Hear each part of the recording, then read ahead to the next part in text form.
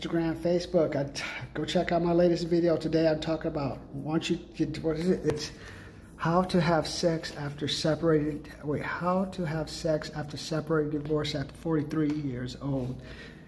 Today I'm talking to you about the, a little bit about the cash and the ass. Once you get separated or divorced after you're 43 years old, those are the first thing, the first two things you're going to be thinking about: the ass and the cash. The ass is what kind of ass you gonna get.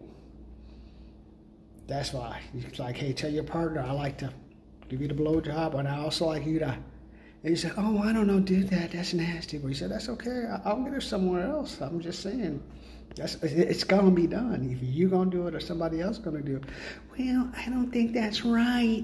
That's okay, baby. Hit the road. Once you get to those older ages, hey, just go to young people. You know they're gonna do it all. They say, "Oh, I'm not into that," and talking about about cash. Gotta go. My um, boiling some.